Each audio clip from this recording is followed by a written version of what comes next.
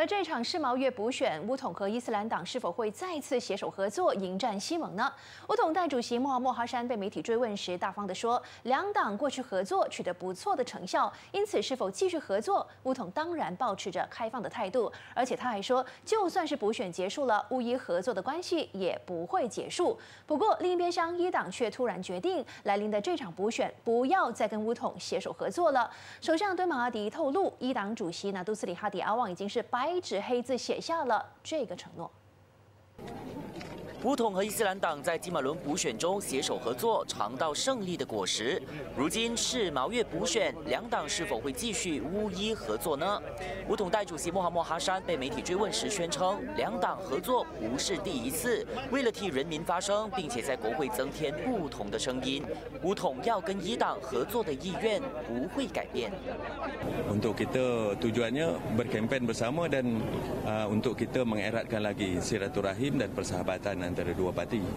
Supaya selepas ini kita tak berakhir setakat pilihan raya kecil tapi kita nak supaya agenda penyatuan ummah demi agama bangsa dan negara ini dapat diperkasakan lagi ya. 尽管他强调乌统对于两党合作保持开放态度，不过首相敦马哈迪却揭露，伊党已经向他承诺不会再跟乌统合作迎战这场补选。敦马还透露，这不仅仅是伊党主席哈迪阿旺的口头承诺，甚至还有白纸黑字可以证明。Hati pas dalam pilihan kecil ini tidak akan menyokong Hati Amnu. dia beritahu tapi ada juga pengakuan secara tertulis dan ditandatangani 马哈迪今天是在吉隆坡出席一场活动时，向媒体透露这个消息。 由于媒体报道，敦马昨天才跟哈迪亚旺举行会谈，两人会面长达四十五分钟，因此媒体今天就纷纷追问两人到底谈了些什么。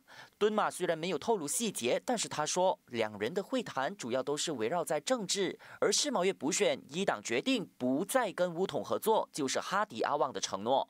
在这同时，哈迪亚旺则向媒体透露，两人会谈主要是商讨州政府和中央政府之间的协调问题。他还透露，中央政府同意将向登加楼州政府支付石油税。NTV 七综合报道。